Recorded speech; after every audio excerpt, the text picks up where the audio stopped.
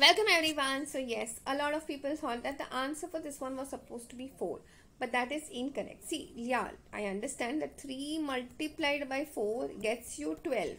But we are looking for the answer of x, not just what is this entire bracket.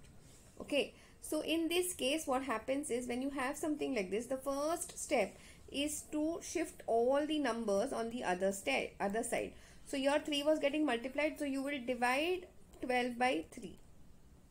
The next step is what 2x and whatever is the answer 12 by 3 is 4 and you 1 is getting added. So when you subtract it on the other side becomes minus 1.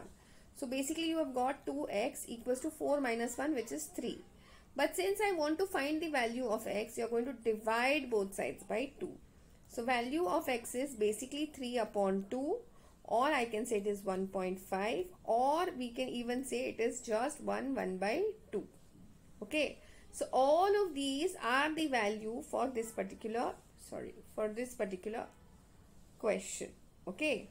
I hope this is very very clear to everyone. That's it for today. I will see you in the next video